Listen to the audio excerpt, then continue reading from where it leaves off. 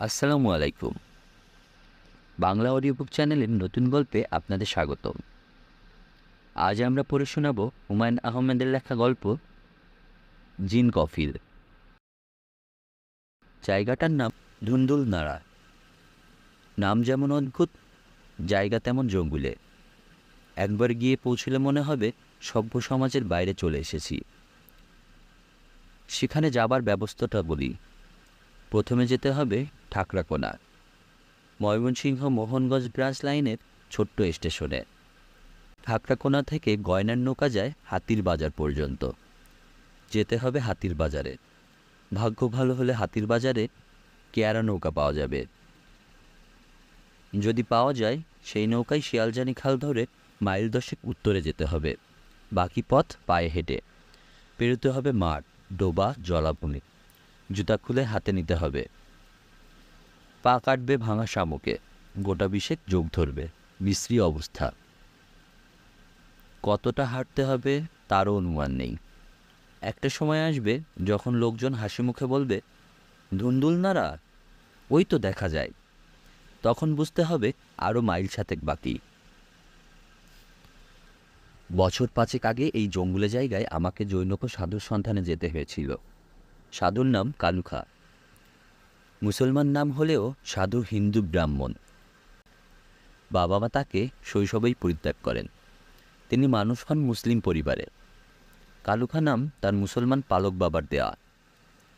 যৌবনে তিনি সংসার ত্যাগী হয়ে শ্মশানে আশ্রয় নেন। তার অসাধারণ ক্ষমতা। বিভূতির কোনো সীমা সংখ্যা নেই। তিনি কোনো রকম খাদ্য গ্রহণ করেন না। তার গা থেকে সবসময় কাঁঠাল চাপা ফুলের তীব্র গন্ধ বের হয়। পূর্ণিমার সময় সেই গন্ধ এত তীব্র হয় যে কাছে গেলে বমি এসে যায়।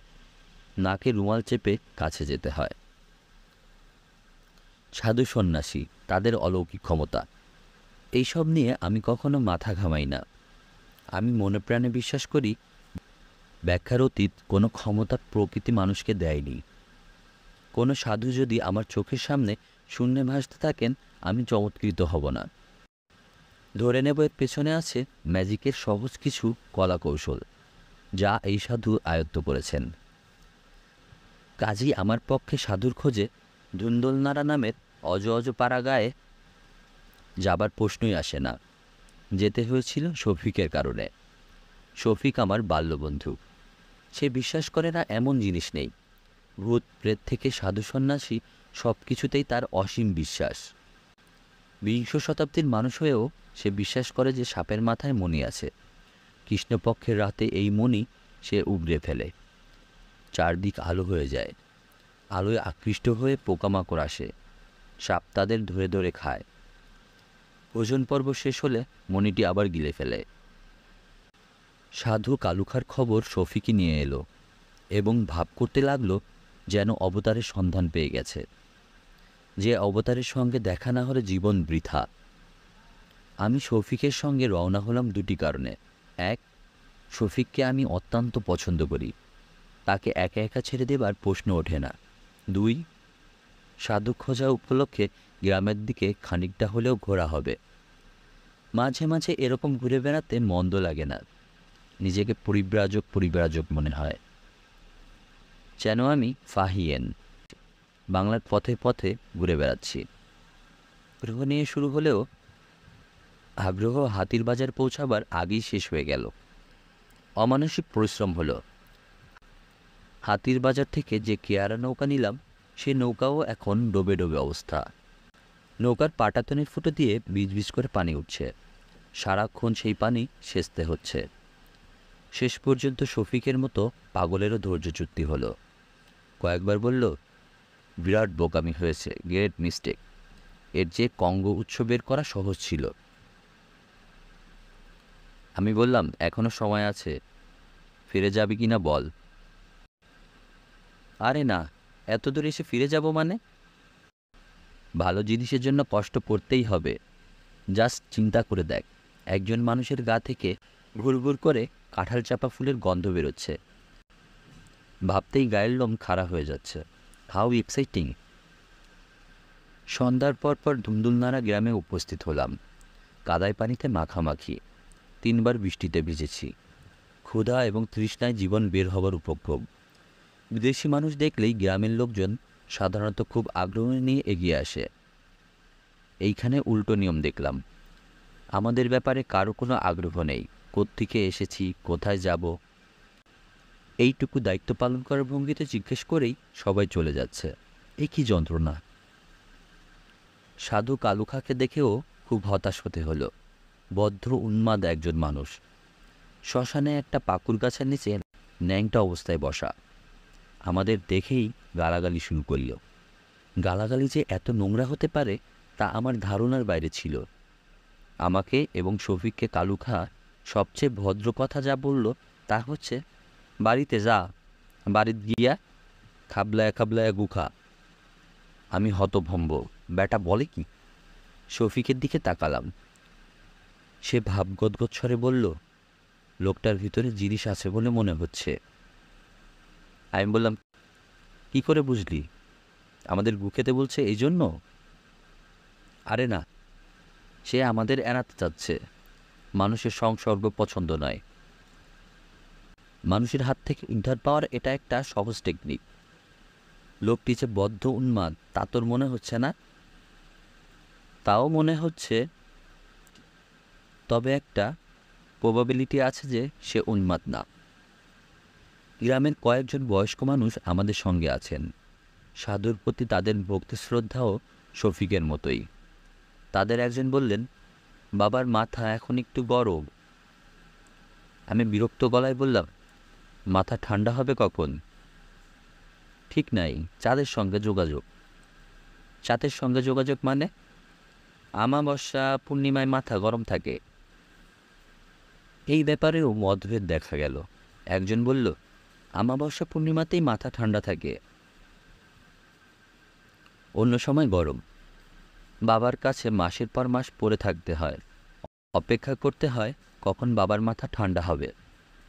আমি বললাম শফিক, বাবার গা থেকে ফুলের গন্ধ তো কিছু পাচ্ছি না। আমাদের যে দ্রব্য খেতে বলছিল তার গন্ধ পাচ্ছি। তুই কি পাচ্ছিস?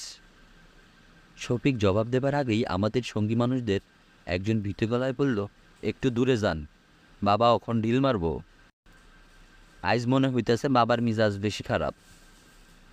কথা শেষ হবার আগেই ঢিল বৃষ্টি শুরু হলো। দৌড়ে নিরাপদ দূরত্বে চলে গেলাম। বাবার কাণ্ড কারখানায় শফিকের অবশ্যই মোহভঙ্গ হলো না। সে বেশ উৎসাহের সঙ্গেই বলল, দুটা দিন থেকে দেখি, এত দূর থেকে আসা, ভালো মতো পরীক্ষা না করে চলে যাওয়াটা ঠিক হবে না। আর কি পরীক্ষা করবি? মানে ওনার মাথা যখন ঠান্ডা হবে, তখন দু একটা কথা টথা জিজ্ঞেস করলে আমি হাল ছেড়ে দেওয়া গলায় বললাম, থাকবি কোথায়? স্কুল ঘরে শুয়ে থাকব। খানিকটা কষ্ট হবে। কি আর করা? কষ্ট বিনে কেষ্ট মেলে না। জানা গেল এই গ্রামে কোনো স্কুল নেই। পাশের গ্রামে প্রাইমারি স্কুল আছে এখান থেকে ছ মাইলের পথ। তবে গ্রামে পাকা মসজিদ আছে। অতিথি মুসাফির এলে মসজিদে থাকে। মসজিদের পাশেই ইমাম সাহেব আছেন। তিনি অতিথিদের খোঁজখবর করেন। প্রয়োজনে খাওয়া দাওয়ার ব্যবস্থা করেন। আমি খুব একটা উৎসাহ বোধ করলাম না। গ্রামের একজনকে জিজ্ঞেস করলাম, ইমাম সাহেব লোক কেমন? সে অনেকক্ষণ চুপ করে থেকে দার্শনিকের মতো বলল, ভালোই মন্দই মিলাইয়া মানুষ। কিছু ভালো, কিছু মন্দ। এই উত্তরও আমার কাছে খুব সন্দেহজনক মনে হলো। উপায় নেই। আকাশে আবার মেঘ জমতে শুরু করেছে। রওনা হলাম মসজিদের দিকে। গ্রামের লোকগুলো অভদ্রে চূড়ান্ত। কেউ সঙ্গে এলো না। কীভাবে যেতে হবে তা বলেই ভাবল আমাদের জন্য অনেক করা হয়েছে। মসজিদ খুঁজে বের করতেও অনেক সময় লাগল। রাত অন্ধকার।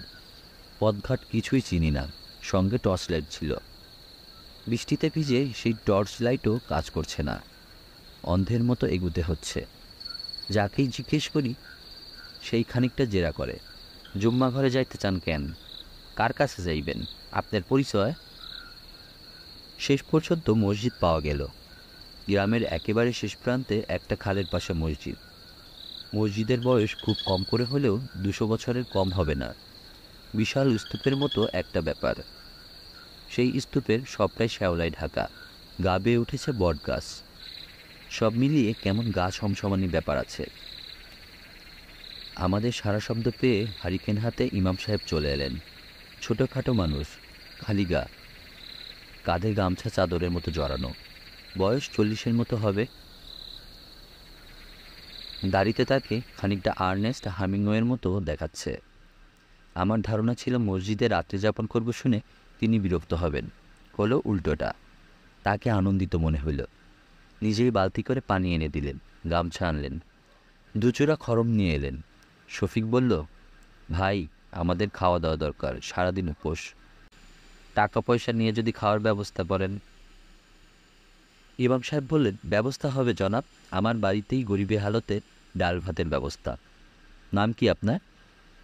মুন্সি এরতাজউদ্দিন, থাকেন কোথায়? আশেপাশেই? মসজিদের পেছনে ছোট্ট একটা টিনের ঘর আছে। কে কে থাকেন? আমার স্ত্রী, আর কেউ না। ছেলে মেয়ে নাই জনাব? আল্লাহ পাক সন্তান দিয়েছিলেন। তাদের হায়াত দেন নাই। হায়াত মৌত সবই আল্লাহ পাকের হাতে। আপনারা হাত মুখ ধুয়ে বিশ্রাম করেন, আমি আসতেছি। ভদ্রলোক ছোট ছোট পা ফেলে অন্ধকারে অদৃশ্য হয়ে গেলেন। শফিক বলল, ইমাম সাহেবকে নিতান্ত ভদ্রলোক বলে মনে হচ্ছে, মাই ডিয়ার টাইপ। মনে হচ্ছে আমাদের দেখে খুশি হয়েছেন। আমি বললাম, ভদ্রলোক জঙ্গুলে জায়গায় একা পড়ে আছেন, আমাদের দেখে সেই কারণেই খুশি। এই মসজিদে নামাজ পড়তে কেউ আসে বলে আমার মনে হয় না। বুঝলি কি করে? লোকজনের যাতায়াত থাকলে পায়ে চলার পথ থাকতো, পথ দেখলাম না। শফিক হাসতে হাসতে বলল, মিসির আলির সঙ্গে থেকে থেকে তোর অবজারভেশন পাওয়ার বেড়েছে বলে মনে হয়। কিছুটা তো বেড়েছেই। ইমাম সাহেব আমাদের বসিয়ে রেখে যে চলে গেলেন, কি নিয়ে ফিরবেন জানিস? কি নিয়ে? দু হাতের দুটা কাটা ডাব নিয়ে। এই তোর অনুমান আমি হাসি মুখে বললাম মিশিয়ালি থাকলে এই অনুমানই করতেন। অনুমানের ভিত্তি হচ্ছে গ্রামে প্রচুর ডাব গাছ। অতিথিদের ডাব দেয়া সনাতন রীতি। লজিক তো ভালোই মনে হচ্ছে। আমার লজিক ভুল প্রমাণ করে মুন্সি এরতাজউদ্দিন ট্রের হাতে উপস্থিত হলেন। ট্রেতে দু কাপ চা, এক বাটি তেলমরিচ মাখামুড়ি। এই অতি পাড়াগা জায়গায় অভাবনীয় ব্যাপার তো বটেই। মফস্বলে চা অতিরিক্ত গরম, অতিরিক্ত মিষ্টি এবং অতিরিক্ত করা হয়। তবু চা হচ্ছে চা। চব্বিশ ঘণ্টা পর প্রথম চায়ে চুমুক দিলাম। মনটা ভালো হয়ে গেল। চমৎকার চা। বিস্মিত হয়ে বললাম, চা কে বানিয়েছে? আপনার স্ত্রী? ইমাম সাহেব লাজুক মুখে বললেন, জি, তার চায়ের অভ্যাস আছে। শহরের মেয়ে। আমার শ্বশুর সাহেব হচ্ছেন নেত্রকোনার বিশিষ্ট মোক্তার মমতাজ উদ্দিন নাম শুনেছেন বোধহয়। আমরা এমন ভঙ্গি করলাম যে নামটা আমাদের কাছে অপরিচিত নয়। আগে অনেকবার শুনেছি। ইমাম সাহেব বললেন, আমি চা খাই না, আমার স্ত্রীর চায়ের অভ্যাস আছে। শহর থেকে ভালো চায়ের পাতা এনে দিতে হয়। বিরাট খরচান্ত ব্যাপার। আপনি কি ইমামতি ছাড়া আর কিছু করেন? জি না, সামান্য জমি জমা আছে, আধি নেই। আমার শ্বশুর সাহেব তার মেয়ের নামে নেত্রকোনা শহরে একটা ফার্মেসি দিয়েছেন। Sunrise pharmacy. তার আয় মাসে মাসে আসে। রিজিকের মালিক আল্লাহ পাক, তার ইচ্ছায় চলে যায়। ভালো চলে বলেই মনে হচ্ছে। জি জনাব, ভালোই চলে। সংসার ছোট, ছেলেপুলে নেই। এশার নামাজের সময় হয়ে গিয়েছিল। ইমাম সাহেব আজান দিয়ে নামাজ পড়তে গেলেন। কোনো দ্বিতীয় ব্যক্তিকে নামাজ পড়তে আসতে দেখলাম না। ইমাম সাহেবকে জিজ্ঞেস করে জানলাম, লোক এমনিতেই হতো না। দু বছর ধরে একেবারেই হচ্ছে না। শুধু জুম্মাবারে কিছু মুসল্লি আসেন। লোকজন না হওয়ার কারণও বিচিত্র। মসজিদ সম্পর্কে গুজব রটে গেছে। এখানে জিন থাকে। নাপাক অবস্থায় নামাজ পড়লে জিন তার সঙ্গে বাড়িতে গিয়ে উপস্থিত হয়। নানান ধরনের যন্ত্রণা করে। আমি বিস্মিত হয়ে বললাম জিন কি সত্যি সত্যি আছে? অবশ্যই আছে। আল্লাহ পাক কোরআন মাজিদে বলেছেন, একটা সুরা আছে, সূরায়ে জিন। সেই কথা জিজ্ঞেস করছি না, জানতে চাচ্ছি, জিন গিয়ে বিরক্ত করে এটা কি সত্যি কি না? জি জনাব, সত্য। তবে লোকজন জিনের ভয়ে মসজিদে আসে না, এটা ঠিক না। আসলে সাপের ভয়ে আসে না। সাপের ভয়ে আসে না? কি বলছেন আপনি? একবার নামাজের মাঝখানে সাপ বের হয়ে গেল দাঁড়ার সাপ। অবশ্য কাউকে কামড়ায় নাই বাস্তু সাপ কামড়ায় না, মাঝে মধ্যে ভয় দেখায়। শফিক আটকে উঠে বলল, মাই গড, যখন তখন সাপ বের হলে এইখানে থাকব কীভাবে? ভয়ের কিছু নাই, কার্বলিক অ্যাসিড ছড়ায় দিব। কার্বলিক অ্যাসিড আছে? জি, নেত্রকোনার ফার্মেসি থেকে তিন বোতল নিয়ে আসছি। আমার স্ত্রীর খুব সাপের ভয়। এই অঞ্চলে সাপ খুব একটু বেশি। মসজিদের সামনে উঁচু চাতাল মতো জায়গায় বসে আছি। সাপের ভয়ে খানিকটা আতঙ্কগ্রস্ত। আকাশে মেঘ ডাকছে। বড় ধরনের বর্ষণ মনে হচ্ছে আসন্ন। ইমাম সাহেব বললেন, খাওয়া দিতে একটু দেরি হবে। আমার স্ত্রী সব একা করছে, লোকজন নাই। ভাব দেখে মনে হচ্ছে বিরাট আয়োজন। জি না আয়োজন কিছু না, দরিদ্র মানুষ। আপনারা এসেছেন শুনে আমার স্ত্রী খুব খুশি, কেউ আসে না। আমি বলতে গেলে একা থাকি, সবাই আমাকে ভয় করে। আমি বিস্মিত হয়ে বললাম, কেন? সবার একটা ধারণা হয়েছে আমি জিন পুষি, জিনদের দিয়ে কাজকর্ম করাই।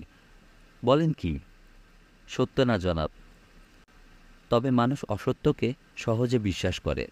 অসত্য বিশ্বাস করা সহজ, কারণ শয়তান অসত্য বিশ্বাসে সাহায্য করে। ইমাম সাহেব বেশ মন খারাপ করে চুপ হয়ে গেলেন। প্রসঙ্গ পাল্টাবার জন্য জিজ্ঞেস করলাম সাধু কালুখা সম্পর্কে কি জানেন? ইমাম সাহেব বললেন, তেমন কিছু জানি না। তবে আপনাদের মতো দূর দূর থেকে ওনার কাছে লোকজন আসে, এইটা দেখেছি। বিশিষ্ট ভদ্রলোকেরাই বেশি আসে। ময়মনসিংহের ডিসি সাহেব ওনার পত্নীকে নিয়ে এসেছিলেন। ওনার ক্ষমতা টমতা কিছু আছে নাকি? মনে হয় না, কুৎসিত গালাগালি করেন। কামেল মানুষের এই রকম গালিগালাজ করার কথা না। তাছাড়া কালুখার কারণে অনেক বেদাতি কাণ্ড কারখানা হয়, এইগুলাও ঠিক না। কী কাণ্ড কারখানা হয়? উনি নগ্ন থাকেন এই জন্য অনেকের ধারণা নগ্ন অবস্থায় তার কাছে গেলে তার মেজাজ ঠিক থাকে। অনেকেই নগ্ন অবস্থায় যান। সে কি? উনি পাগল মানুষ। সমস্যার কারণে যার তার কাছে আসেন। উনি পাগল মানুষ। সমস্যার কারণে যারা তার কাছে আসেন, তারাও এক অর্থে পাগল। পাগল মানুষের কাজকর্ম তো এই রকমই হয়। সমস্যা হলে তার পরিত্রাণের জন্য আল্লাহ পাকের দরবারে কান্নাকাটি করতে হয়। মানুষ তা করে না। সাধু সন্ন্যাসী পীর ফকির খোঁজে। ইমাম সাহেবের কথাবার্তায় আমি অবাক হলাম, পরিষ্কার চিন্তাভাবনা। গ্রাম্য মসজিদের ইমামের কাছ থেকে এমন যুক্তি নির্ভর কথা আশা করা যায় না। লোকটির প্রতি আমারও এক ধরনের শ্রদ্ধাবোধ তৈরি হলো।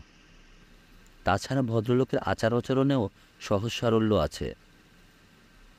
যে সারল্যের দেখা সচরাচর পাওয়া যায় না। রাত নয়টার দিকে ইমাম সাহেব বললেন, চলেন যাই। খানা বোধহয় এর মধ্যে তৈরি হয়েছে। ডাল ভাতের বেশি কিছু না। নিজ গুণে ক্ষমা করবেন। নিজ গুণে ক্ষমা করে চারটা মুখে দিবেন। ইমাম সাহেবের বাড়িটা ছোট্ট টিনের দু কামরার বাড়ি। এক চিনতে উঠোন। বাড়ির চারদিকে দরমার বেড়া। আমাদের ঘরে নিয়ে বসানো হলো। মেঝেতে শতরঞ্জি বিছানো। থালা বাসন সাজানো। আমরা সঙ্গে সঙ্গে খেতে বসে গেলাম। খাবারের আয়োজন অল্প হলেও ভালো।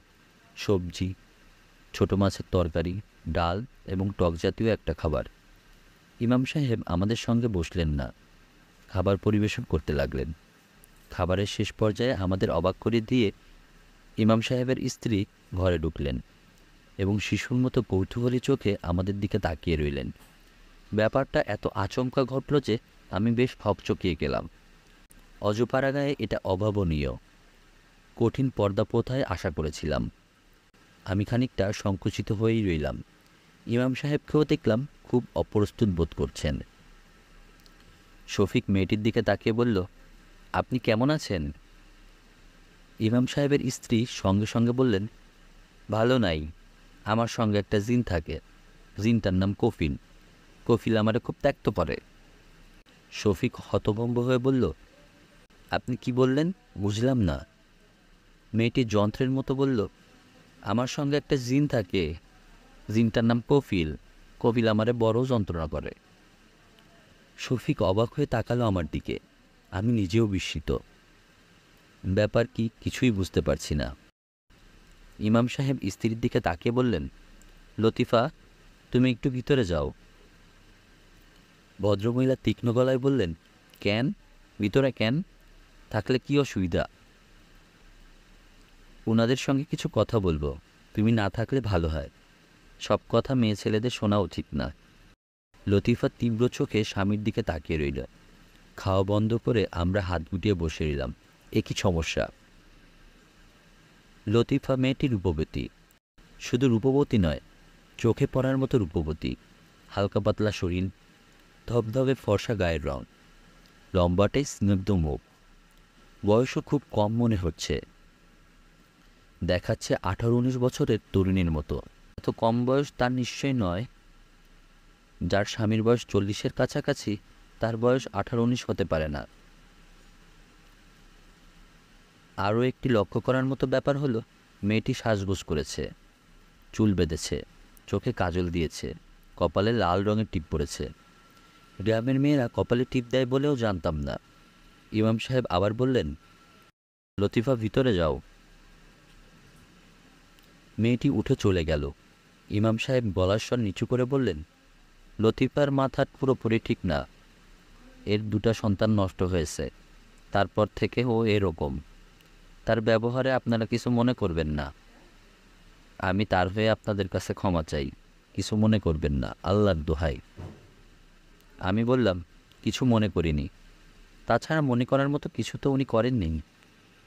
ইমাম সাহেব ক্লান্ত গলায় বললেন জিনের কারণে এরকম করে।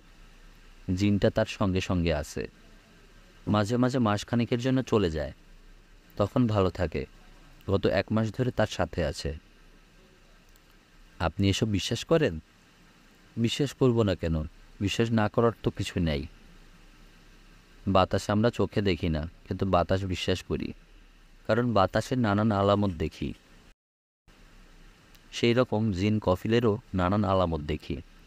কি দেখেন? জিন যখন সঙ্গে থাকে, তখন লতিফা খুব সাজগোজ করে। কথায় কথায় হাসে, কথায় কথায় কাঁদে। জিন তার আবার ব্যবস্থা করেননি? করেছি, লাভ হয় নাই। কফিল খুবই শক্ত জিন। দীর্ঘদিন লতিফার সঙ্গে আছে। প্রথম সন্তান যখন গর্বে আসলো, তখন থেকেই কফিল আছে। জিন চাই কি? ইমাম সাহেব মাথা নিচু করে বসে রইলেন। তাকে দেখে মনে হচ্ছে তিনি কোনো কারণে খুব কষ্ট পাচ্ছেন। আমার মনে ক্ষীণ সন্দেহ হলো। জিন বোধ হয় লতিফা মেয়েটিকেই স্ত্রী হিসেবে চায়। বিংশ শতাব্দীতে এই ধরনের চিন্তা মাথায় আসছে দেখে আমি নিজের উপরও বিরক্ত হলাম। ইমাম সাহেব বললেন, এই জিনটা আমার দুইটা বাচ্চা মেরে ফেলছে। আবার যদি বাচ্চা হয়, তাও মারবে। বড় মনোকষ্টে আছি জনাব। দিনরাত আল্লাহরে রাখি। আমি গুনাহাঙ্গার মানুষ। আল্লাহ পাক আমার কথা শুনেন না। আপনার স্ত্রীকে কোনো ডাক্তার দেখিয়েছেন? ডাক্তার কি করবে? ডাক্তারের কোনো বিষয় না। জিনের ওষুধ ডাক্তারের কাছে নাই। তবু একবার দেখালে হতো না? আমার শ্বশুর সাহেব দেখিয়েছিলেন, একবার লতিফাকে বাপের বাড়িতে রেখে এসেছিলাম। শ্বশুর সাহেব তারে ঢাকায় নিয়ে গেলেন। চিকিৎসা টিকিৎসা করালেন, লাভ হলো না। বারান্দা থেকে গুনগুন শব্দ আসছে। উৎকর্ণ হয়ে রইলাম। খুবই মিষ্টি গলায় টেনে টেনে গান হচ্ছে, যার কথাগুলোর বেশিরভাগই অস্পষ্ট। মাঝে মাঝে দুই একটা লাইন বোঝা যায়, যার কোনো অর্থ নেই। যেমন, এতে না দেহে না দেহে না, এতে না এতে না।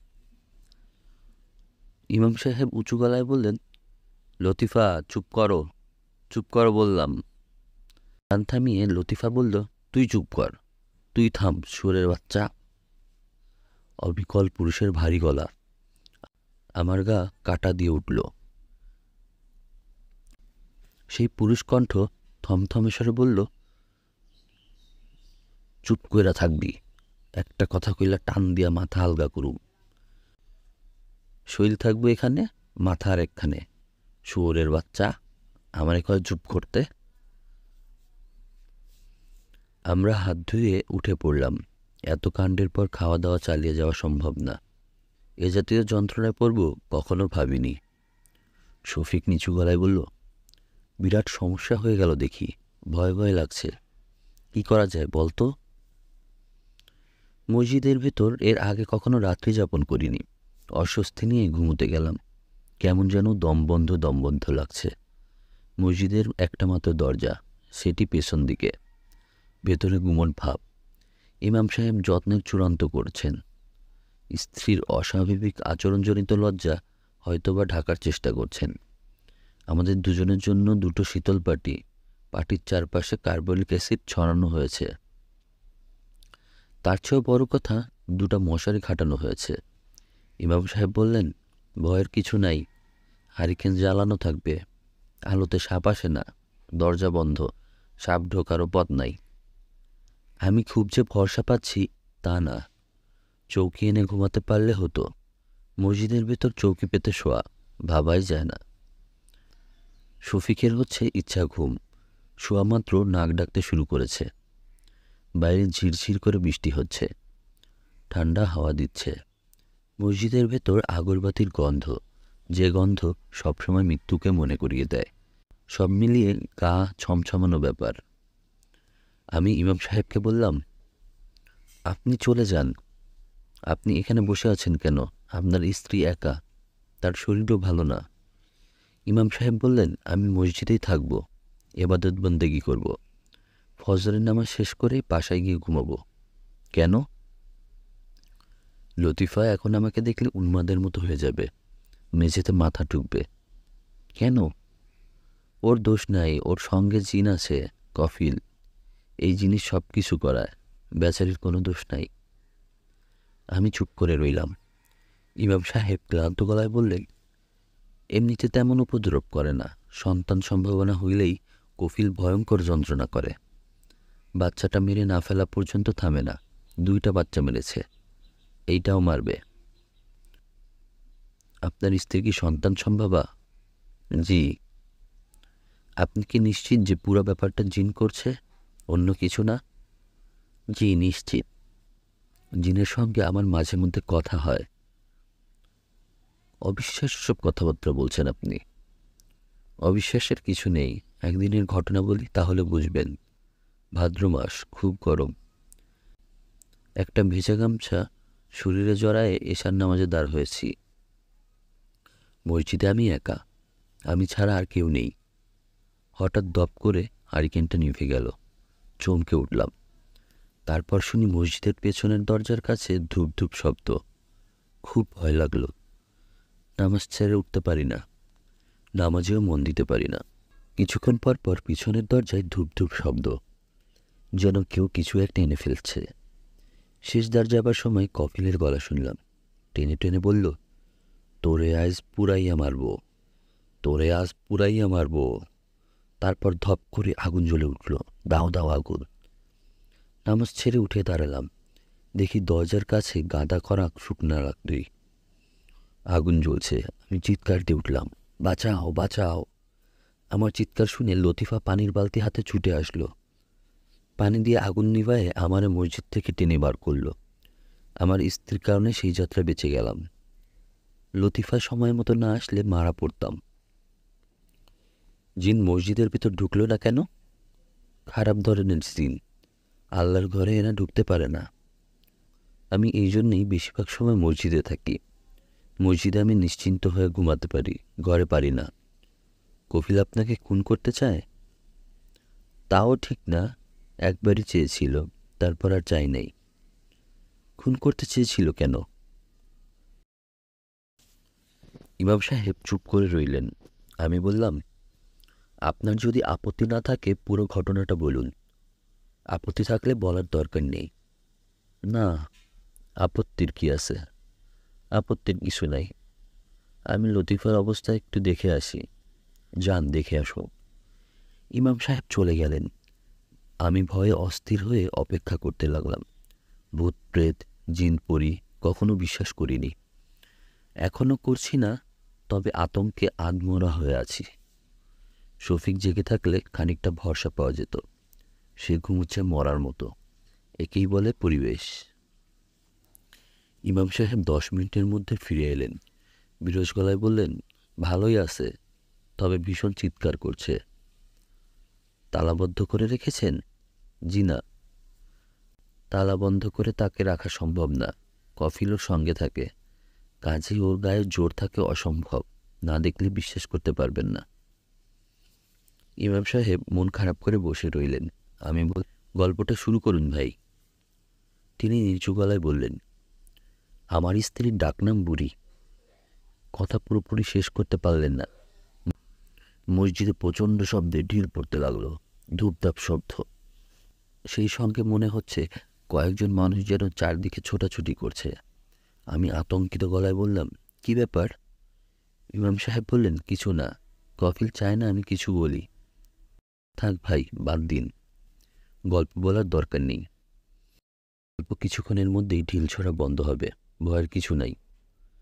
সত্যি সত্যি বন্ধ হলো, বৃষ্টির বেগ বাড়তে লাগল। ইমাম সাহেব গল্প শুরু করলেন। আমি তার গল্পটাই বলছি, তার ভাষাতে। তবে আঞ্চলিকতাটা সামান্য বাদ দিয়ে। গল্পের মাঝখানেও একবার তুমুল ঢিল ছোড়া হলো। ইমাম সাহেব এক মনে আয়াতাল কুর্সি করলেন আমার জীবনে সে এক ভয়াবহ রাত।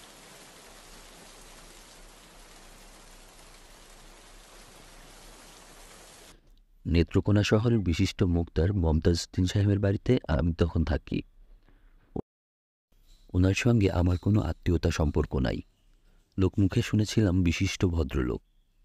কেউ কোনো বিপদে পড়ে তার কাছে গেলে তিনি যথাসাধ্য করেন। আমার তখন মহা বিপদ। একবেলা তো একবেলা উপোস দেই। সাহসে ভর করে তার কাছে গেলাম চাকরির জন্য। উনি বললেন, চাকরি যে দিব, পড়াশোনা কি জানো? আমি বললাম উলা পাশ করেছি। উনি বিরক্ত হয়ে বললেন মাদ্রাসা পাশ করা লোক, তোমারে আমি কি চাকরি দিব? আয়ে বিয়ে পাশ থাকলে একটা কথা ছিল, চেষ্টা চরিত্র করে দেখতাম। চেষ্টা করারও তো কিছু নাই। আমি চুপ করে রইলাম, মনটা খুব খারাপ হয়ে গেল। বড় আশা ছিল কিছু হবে, একটা পয়সা সঙ্গে নাই, উপোস দিচ্ছি। রাতে নেত্রকোনা স্টেশনে ঘুমাই। মমতাজ সাহেব বললেন, তোমাকে চাকরি দেওয়া সম্ভব না, নেও। এই বিশটা টাকা রাখো, অন্য কারও কাছে যাও। মসজিদে খোঁজটোজ নাও, ইমামত পাও কিনা দেখো। আমি টাকাটা নিলাম, তারপর বললাম, ভিক্ষা নেওয়া আমার পক্ষে সম্ভব না। যদি ঘরের কোনো কাজকর্ম থাকে, বলেন, করে দেই। তিনি অবাক হয়ে বললেন, কী কাজ করতে চাও? যা বলবেন করব, বাগানের ঘাসগুলো তুলে দেই। আচ্ছা দাও। আমি বাগান পরিষ্কার করে দিলাম, গাছগুলোতে পানি দিলাম, দুই এক জায়গায় মাটি কুপিয়ে দিলাম। সন্ধ্যাবেলা কাজ শেষ করে বললাম, জনাব, যাই, আপনার অনেক মেহেরবানি। আল্লাহ পাকের দরবারে আমি আপনার জন্য দোয়া করি। মমতাজ সাহেব বললেন, এখন যাবে কোথায়? স্টেশনে। রাতে নেত্রকোনা স্টেশনে আমি ঘুমাই। এক কাজ করো, রাতটা এখানেই থাকো, তারপর দেখি। আমি থেকে গেলাম। একদিন দুই দিন তিন দিন চলে গেল। উনি কিছু বলেন না। আমিও কিছু বলি না। বাংলা ঘরের এক কোনায় থাকি, বাগান দেখাশোনা করি, চাকরির সন্ধান করি। ছোট শহর, আমার কোনো চীনা পরিচয়ও নাই। কে দিবে চাকরি? ঘোরাঘুরি সার হয়। মুক্তার সাহেবের সঙ্গে মাঝে মধ্যে দেখা হয়। আমি বড়ই শরমিন্দা বোধ করি। উনিও এমন ভাব করেন যেন আমাকে চেনেন না। মাসখানেক এইভাবে চলে গেল। আমি মোটামুটি তাদের পরিবারের একজন হয়ে গেলাম। মোক্তার সাহেবের স্ত্রীকে মা ডাকি। ভেতরের বাড়িতে খেতে যাই। তাদের কোনো একটা উপকার করার সুযোগ পেলে প্রাণপণে করার চেষ্টা করি। বাজার করে দেই, কল থেকে পানি তুলে দেই। মোক্তার সাহেবের তিন মেয়ে। বড় মেয়ে বিধবা হয়ে বাবার সঙ্গে আছে। তার দুই বাচ্চাকে আমি আমপাড়া পড়াই। বাজার সদাই করে দেই। টিপকল থেকে রোজ ছয় সাত বালতি পানি তুলে দেই। মুক্তার সাহেবের কাছে যখন মক্কেলরা আসে, তখন তিনি ঘন ঘন তামাক খান। সেই তামাকও আমি সেজে দেই। চাকর বাকরের কাজ। আমি আনন্দের সঙ্গেই করি। মাঝে মাঝে মনটা খুবই খারাপ হয়। দরজা বন্ধ করে এক মনে কোরআন শরীফ পড়ি। আল্লাহ পাকরে ডেকে বলি, হে আল্লাহ, আমার একটা উপায় করে দাও। কতদিন আর মানুষের বাড়িতে অন্নদাস হয়ে থাকব? আল্লাহ পাক মুখ তুলে তাকালেন। সিদ্দিকুর রহমান সাহেব বলে, এক ব্যবসায়ী বলতে গেলে সেধে আমাকে চাকরি দিয়ে দিলেন। চালের আড়তে হিসাবপত্র রাখা। মাসিক বেতন পাঁচশো টাকা। মুক্তার সাহেবকে সালাম করে খবরটা দিলাম। উনি খুবই খুশি হলেন। বললেন, তোমাকে অনেক দিন ধরে দেখতেছি। তুমি সৎ স্বভাবের মানুষ। ঠিকমতো কাজ করো। তোমার আয় উন্নতি হবে। আর রাতে তুমি আমার বাড়িতেই থাকো। তোমার কোনো অসুবিধা নেই। খাওয়া দাওয়াও এইখানেই করবে। তোমাকে আমি ঘরের ছেলের মতোই দেখি। আনন্দে মনটা ভরে গেল। চোখে পানি এসে গেল। আমি মুক্তার সাহেবের কথা মতো তার বাড়িতেই থাকতে লাগলাম। ইচ্ছা করলে চালের আড়তে থাকতে পারতাম, মন টানল না। তাছাড়া মুক্তার সাহেবের বাগানটা নিজের হাতে তৈরি করেছি। দিনের মধ্যে কিছুটা সময় বাগানে না থাকলে খুব অস্থির লাগে। এক মাস চাকরির পর প্রথম বেতন পেলাম। পাঁচশো টাকার বদলে সিদ্দিকুর রহমান সাহেব ছশো টাকা দিয়ে বললেন, তোমার কাজকর্ম ভালো। এইভাবে কাজকর্ম করলে বেতন আরও বাড়াইয়া দিব। আমার মনে বড় আনন্দ হলো। আমি তখন একটা কাজ করলাম। পাকলামিও বলতে পারেন। বেতনের সব টাকা খরচ করে মুক্তার সাহেবের স্ত্রী এবং তার তিন মেয়ের জন্য তিনটা শাড়ি কিনে ফেললাম। টাঙ্গাইলের সুতি শাড়ি। মুক্তা সাহেবের জন্য একটি খদ্দরের চাদর। মুক্তা সাহেবের স্ত্রী বললেন, তোমার কি মাথাটা খারাপ? এইটা তুমি কি করলা? বেতনের প্রথম টাকা, তুমি তোমার আত্মীয় স্বজনের জন্য জিনিস কিনবা, বাড়িতে টাকা পাঠাইবা। আমি বললাম, মা, আমার আত্মীয় স্বজন কেউ নাই, আপনারাই আমার আত্মীয় স্বজন তিনি খুবই অবাক হয়ে বললেন, কই কোনো দিন তো কিছু বলো নাই? আপনি জিজ্ঞেস করেন নাই এই জন্য বলি নাই। আমার বাবা মা খুব ছোটবেলায় মারা গেছেন। আমি মানুষ হয়েছি এতিমখানায়। এতিমখানা থেকেই উলা পাশ করেছি। উনি আমার কথায় মনে খুব কষ্ট পেলেন। ওনার মনটা ছিল পানির মতো, সব সময় টলটল করে। উনি বললেন, কিছু মনে নিও না, আমার আগেই জিজ্ঞেস করা উচিত ছিল, তুমি আমারে মা ডাকো, আর আমি তোমার সম্পর্কে কিছুই জানি না। এটা খুবই অন্যায় কথা। আমার খুব অন্যায় হইছে। তিনি তার তিন মেয়েকে ডেকে বললেন তোমরা এরে আজ থেকে নিজের ভাইয়ের মতন দেখবা। মনে করবা তোমরার এক ভাই। তার সামনে পর্দা করার দরকার নাই। এর মধ্যে একটা বিশেষ জরুরি কথা বলতে ভুলে গেছি। মুক্তার সাহেবের ছোট মেয়ে লতিফার কথা। এই মেয়েটা পরীর মতো সুন্দর। একটু পাগল ধরনের। নিজের মনে কথা বলে, নিজের মনে হাসে। যখন তখন বাংলা ঘরে চলে আসে। আমার সঙ্গে দুই একটা টুকটাক কথাও বলে। অদ্ভুত সব কথা। একদিন এসে বলল, এই যে মৌলানা সাহেব, একটা কথা জিজ্ঞেস করতে আসছি। আচ্ছা বলেন তো, শয়তান পুরুষ না মেয়ে ছেলে? আমি বললাম, শয়তান পুরুষ। লতিফা বলল, আল্লাহ মেয়ে শয়তান তৈরি করেন নাই কেন? আমি বললাম, তা তো জানি না, আল্লাহ পাকের ইচ্ছার খবর কেমনে জানব? আমি অতি তুচ্ছ মানুষ। কিন্তু শয়তান যে পুরুষ, তা আপনি জানেন? জানি, আপনি ভুল জানেন। শয়তান পুরুষও না, স্ত্রীও না। শয়তান আলাদা একটা জাত। আমি মেয়েটার বুদ্ধি দেখে খুবই অবাক হই। এই রকম সে পীড়াই করে। একদিনের কথা, ছুটির দিন। দুপুরবেলা বাংলা ঘরে আমি ঘুমোচ্ছি। হঠাৎ ঘুম ভেঙে গেল। অবাক হয়ে দেখি লতিফা আমার ঘরে। আমি ধর্মর করে উঠে বসলাম। লতিফা বলল, আপনার একটা ধাঁধা জিজ্ঞেস করতে আসছি। আচ্ছা বলেন তো। হেন কোনো গাছ আছে ধরায়? স্থলে জলে কবু তাহা নাহি জন্মায়? আমি ধাঁধার জবাব না দিয়ে বললাম, তুমি কখন আসছো? লতিফা বলল, অনেকক্ষণ হইতে আসছি। আপনি ঘুমাইতেছিলেন আপনারে জাগাই নেই। এখন বলেন, ধাঁধার উত্তর দেন। হেন কোনো গাছ আছে এ ধরায়? স্থলে জলে কবু তাহা নাহি জন্মায়। আমি বললাম, এইটার উত্তর জানা নাই। উত্তর খুব সোজা, উত্তর হইল পরগাছা। আচ্ছা আরেকটা ধরি বলেন দেখি। পাকলে খেতে চায় না, কাঁচা খেতে চায়, এ কেমন ফল বলো তো আমায়। মেয়েটার কাণ্ড কারখানায় আমার ভয় ভয় লাগতে লাগল। কেন সে এরকম করে? কেন বারবার আমার ঘরে আসে? লোকের চোখে পড়লে নানান কথা রটবে। মেয়ে যত সুন্দর, তারে নিয়ে রটনাও তত বেশি। লতিফা আমার বিছানায় বসতে বসতে বলল, কই, বলেন এটার উত্তর কি? পাকলে খেতে চায় না, কাঁচা খেতে চায়। এ কেমন ফল বলো তো আমায়। বলতে পারলেন না, এটা হল, এটা হলো শশা। পাকা শশা কেউ খায় না, সবাই কাঁচা শশা খায়। আচ্ছা আপনার বুদ্ধি এত কম কেন? একটাও পারেন না। আপনি একটা ধাঁধা ধরেন, আমি সঙ্গে সঙ্গে বলে দেব। আমি ধাঁধা জানি না, লতিফা। আপনি কি জানেন? শুধু আল্লাহ আল্লাহ করতে জানেন? আর কিছু জানেন না? লতিফা, তুমি এখন ঘরে যাও। ঘরেই তো আছি, এটা ঘর না, এটা কি বাহির?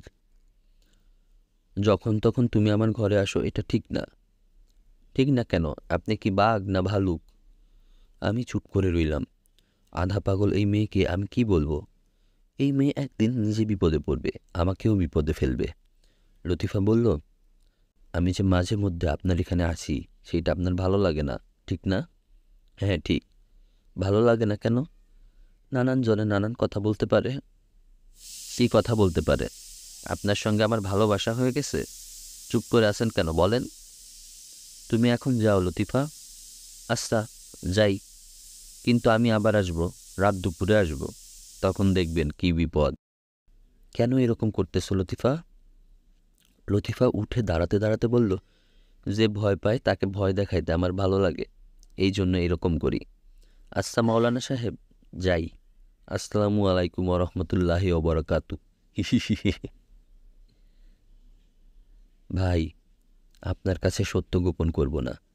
সত্য গোপন করা বিরাট অন্যায়। আল্লাহ পাক সত্য গোপনকারীকে পছন্দ করেন না। চাকরি পাওয়ার পরেও আমি মোক্তার সাহেবের বাড়িতে থেকে গেলাম শুধু লতিফার জন্য। তারে দেখার জন্য মনটা শটফট করত।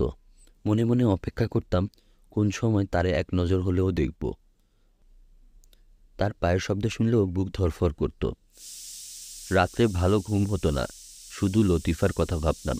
বলতে খুব সরম লাগছে ভাই সাহেব, তবু বলি, লতিফার চুলের একটা কাটা আমি সবসময় আমার সঙ্গে রাখতাম। আমার কাছে মনে হইতো এটা চুলের কাটা না, সাত রাজার ধন। আমি আল্লাহ পাকের দরবারে কান্নাকাটি করতাম, বলতাম, হে পরওয়ারদিগার, হে গফুর রহিম, তুমি আমাকে একই বিপদে ফেললা। তুমি আমার উদ্ধার করো। আল্লাহ পাক আমাকে উদ্ধার করলেন লতিফার বিবাহের প্রস্তাব আসলো। ছেলে এমবিবিএস ডাক্তার। বাড়ি গৌরীপুর। ভালো বংশ। খানদানি পরিবার। ছেলে নিজে এসে মেয়ে দেখে গেল। মেয়ে তার খুব পছন্দ হলো। পছন্দ না হওয়ার কোনো কারণ নেই। লতিফার মতো রূপবতী মেয়ে সচরাচর দেখা যায় না। ছেলেও দেখতে শুনতে ভালো। শুধু গায়ের রঙটা একটু ময়লা। কথায় বার্তায়ও ছেলে অতি ভদ্র। বিয়ে ঠিকঠাক হয়ে গেল। বারোই শ্রাবণ। শুক্রবার দিবাগত রাতে বিবাহ পড়ানো হবে। আমার মনটা বড়ই খারাপ হয়ে গেল। আমি জানি, এই মেয়ের সঙ্গে আমার বিবাহের কোনো প্রশ্নই ওঠে না। কোথায় সে আর কোথায় আমি? চাকর শ্রেণির আশ্রিত একজন মানুষ আমি। জমি জমা নাই, আত্মীয় স্বজন নাই, সহায় সম্বল নাই। তার জন্য আমি কোনোদিন আফসোস করি নাই। আল্লাহ পাক যাকে যা দেন, তাই নিয়েই সন্তুষ্ট থাকতে হয়। আমিও ছিলাম। কিন্তু একদিন লতিফার বিয়ের কথা পাকাপাকি হয়ে গেল। সেদিন কি যে কষ্ট লাগল বলে আপনাকে বোঝাতে পারব না। সারা রাত শহরের পথে পথে ঘুরলাম। জীবনে কোনোদিন নামাজ কাজা করি নাই। এই প্রথম ঈশার নামাজ কাজা করলাম। ফজরের নামাজ কাজা করলাম। এতদিন পরে বলতে লজ্জা লাগছে। আমার প্রায় মাথা খারাপের মতো হয়ে গিয়েছিল। ভোরবেলা মুক্তার সাহেবের বাসায় গেলাম। সবার কাছ থেকে বিদায় নিলাম। এইখানে আর থাকব না। বাজারে চালের আড়তে থাকব। মুক্তার সাহেবের স্ত্রী বললেন, এখন যাবে কেন বাবা? মেয়ের বিয়ে ঠিক হয়ে গেছে, কত কাজকর্ম কাজকর্ম শেষ করে তারপরে যাও। আমি মিথ্যা কথা বলি না, প্রথম মিথ্যা বললাম। আমি বললাম, মা, সিদ্দিকুর রহমান সাহেব আমাকে আজই দোকানে উঠে যেতে বলেছেন। উনি আমার মনিব, অন্নদাতা। ওনার কথা না রাখলে আমার অন্যায় হবে। বিয়ের সময় আমি চলে আসব, কাজকর্মে কোনো অসুবিধা হবে না মা। সবার কাছ থেকেই বিদায় নিলাম। লতিফার কাছ থেকে বিদায় নিতে পারলাম না। সে যখন সামনে এসে দাঁড়াল, তখন চোখ তুলে তার দিকে তাকাতে পর্যন্ত পারলাম না। লতিফা বলল, চলে যাচ্ছেন? আমি বললাম হ্যাঁ। কেন? আমরা কি কোনো দোষ করেছি? ছি ছি। দোষ করবে কেন? আচ্ছা যাওয়ার আগে এই ধাঁধাটা ভাঙ্গায় দিয়ে যান। বলেন দেখি সাই ছাড়া সই না, লাথি ছাড়া ওঠে না। এই জিনিস কি? জানি না লতিফা। এত সহজ জিনিস পারলেন না। এইটা হলো কুকুর। আচ্ছা যান, দোষ ঘাট হলে ক্ষমা করে দিয়েন। আমি আরতে চলে আসলাম। রাত আটটার দিকে মুক্তা সাহেব লোক পাঠিয়ে আমাকে ডাকিয়ে নিয়ে গেলেন। তিনি শোবার ঘরে চেয়ারে বসেছিলেন। আমাকে সেইখানে নিয়ে যাওয়া হলো। আমি খুব অবাক হলাম। একটু ভয় ভয়ও করতে লাগল। তাকিয়ে দেখি মুক্তা সাহেবের স্ত্রী খাটে বসে আছেন, নিঃশব্দে কাঁদছেন। আমি কিছুই বুঝলাম না, বুক ধরফর করতে লাগল। না জানি কি হয়েছে। মুক্তার সাহেব বললাম, তোমাকে আমি পুত্রের মতো স্নেহ করেছি। তার বদলে তুমি এই করলে? দুধ দিয়ে কাল পোষার কথা শুন- শুনেছি। আজ নিজের চোখে দেখলাম। আমি মুক্তার সাহেবের স্ত্রীর দিকে তাকিয়ে বললাম মা, আমি কিছুই বুঝতেছি না। মুক্তা সাহেব চাপা স্বরে বললেন, বোকা সাজার দরকার নাই, বোকা সাজবা না। তুমি যা করেছ, তা তুমি ভালোই জানো। তুমি পথের কুকুরের অধম আমি বললাম, আমার কী অপরাধ, দয়া করে বলেন। মুক্তার সাহেব রাগে কাঁপতে কাঁপতে বললেন, মেথর পট্টিতে যে শুয়োর থাকে, তুই তার চেয়েও অধম, তুই নর্দমার ময়লা। বলতে বলতে তিনি কেঁদে ফেললেন। মুক্তার সাহেবের স্ত্রী বললেন লতিফা সবই আমাদের বলেছে, কিছুই লুকায় নাই। এখন এই অপমান, এই লজ্জার হাত থেকে বাঁচার একমাত্র উপায় লতিফার সঙ্গে তোমার বিবাহ দেওয়া। তুমি তাতে রাজি আছো? না মেয়ে সর্বনাশ করে পালানোই তোমার ইচ্ছে? আমি বললাম, মা, আপনি কি বলছেন? আমি কিছুই বুঝতে পারছি না। লতিফা কি বলেছে আমি জানি না। তবে আপনারা যা বলবেন আমি তাই করব। আল্লাহ পাক উপরে আছেন, তিনি সব জানেন। আমি কোনো অন্যায় করি নাই, মা। মুক্তার সাহেব চিৎকার করে বললেন, চুপ থাক, শুয়োরের বাচ্চা, চুপ থাক। সেই রাতেই কাজী ডাকিয়ে বিয়ে পড়ানো হলো। বাসর রাতে লতিফা বলল, আমি একটা অন্যায় করেছি। আপনার সাথে যেন বিবাহ হয়, এই জন্য বাবা মাকে মিথ্যা করে বলেছি। আমার পেটে সন্তান আছে, বিরাট অপরাধ করেছি, আপনার কাছে ক্ষমা চাই। আমি বললাম, লতিফা, আমি তোমার অপরাধ ক্ষমা করলাম। তুমি আল্লাহ পাকের কাছে ক্ষমা চাও। আপনি ক্ষমা করলেই আল্লাহ ক্ষমা করবেন। তাছাড়া আমি তেমন বড় অপরাধ তো করি নাই। সামান্য মিথ্যা বলেছি। আপনাকে বিবাহ করার জন্য অনেক বড় অপরাধ করার জন্যও আমি তৈরি ছিলাম। আচ্ছা এখন বলেন, এই ধাঁধাটির মানে কি? আমার একটা পাখি আছে, যা দিই সেই খাই কিছুতেই মরে না পাখি, জলে মারা যায়। বুঝলেন ভাই সাহেব, আনন্দে আমার চোখে পানি চলে এসে গেল। এই আনন্দের কোনো সীমা নাই। আমার মতো নাদান মানুষের জন্য আল্লাহ পাক এত আনন্দ রেখে দিয়েছেন, আমি কল্পনাও করি নাই। আমি কতবার যে বললাম, আল্লাহ পাক, আমি তোমার নিয়ামত স্বীকার করি, আমি তোমার নিয়ামত স্বীকার করি। বিয়ের পর আমি শ্বশুরবাড়িতেই থেকে গেলাম এবং আমার এবং লতিফার বড় দুঃখে সময় কাটতে লাগল। শ্বশুরবাড়ির কেউ আমাদের দেখতে পারে না, খুবই খারাপ ব্যবহার করে। আমার শাশুড়ি দিনরাত লতিফাকে অভিশাপ দেন, মর মর, তুই মর। আমার শ্বশুর সাহেব একদিন আমাকে ডেকে বললেন, সকালবেলায় তুমি আমার সামনে আসবা না। সকালবেলায় তোমার মুখ দেখলে আমার দিন খারাপ যায়। শ্বশুরবাড়ির কেউ আমার সঙ্গে কথা বলে না। তারা একসঙ্গে খেতে বসে। সেখানে আমার যাওয়া নিষেধ। সবার খাওয়া দাওয়া শেষ হলে লতিফা থালাই করে আমার জন্য ভাত নিয়ে আসে। সেই ভাত আমার গলা দিয়ে নামতে চায় না। লতিফা রোজ বলে, চলো অন্য কোথাও যাই গিয়া। আমি চুপ করে থাকি। কই যাব বলেন? আমার কি যাওয়ার জায়গা আছে? যাওয়ার কোনো জায়গা নেই। লতিফা খুব কান্নাকাটি করে। একদিন খুব অপমানের মধ্যে পড়লাম। আমার শ্বশুর সাহেবের পাঞ্জাবের পকেট থেকে এক হাজার টাকা চুরি গেছে। তিনি আমাকে ডেকে নিয়ে বললেন, এই যে দাড়িওয়ালা, তুমি কি আমার টাকা নিয়েছো আমার চোখে পানি এসে গেল। এ কি অপমানের কথা? আমি দরিদ্র, আমার যাওয়ার জায়গা নেই, সবই সত্য। কিন্তু তাই বলে আমি কি চোর? ছি ছি। শ্বশুর সাহেব বললেন, কথা বলো না কেন? আমি বললাম, আমারে অপমান করেন না, যত ছোটই হই, আমি আপনার কন্যার স্বামী। শ্বশুর সাহেব বললেন, চুপ কর, চোর আবার ধর্মের কথা বলে। লতিফা সেই দিন থেকে খাওয়া দাওয়া বন্ধ করে দিল। সে বলল, এই বাড়ির ভাত সে মুখে দেবে না। আমার শাশুড়ি বললেন, ঢং করিস না, এই বাড়ির ভাত ছাড়া তুই ভাত পাবি কই? দুই দিন, দুই রাত গেল, লতিফা পানি ছাড়া কিছুই মুখে দেয় না। আমাকে বলে, তুমি আমারে অন্য কোথাও নিয়ে চলো, দরকার হইলে কাজ তলায় নিয়ে চলো। এই বাড়ির ভাত আমি মুখে দিব না। আমি মহাবিপদে পড়লাম, সারা রাত আল্লাহরে ডাকলাম। ফজরের নামাজের শেষে আল্লাহ পাকের দরবারে হাত উঠায়া বললাম, হে মাবুদ, হে পরর দিগার তুমি ছাড়া আমি কার কাছে যাব? আমার দুঃখের কথা কারে বলব? কে আছে আমার? তুমি আমারে বিপদ থেকে বাঁচাও। আল্লাহ পাক আমার প্রার্থনা শুনলেন। ভোরবেলা চালের আড়তে গিয়েছি।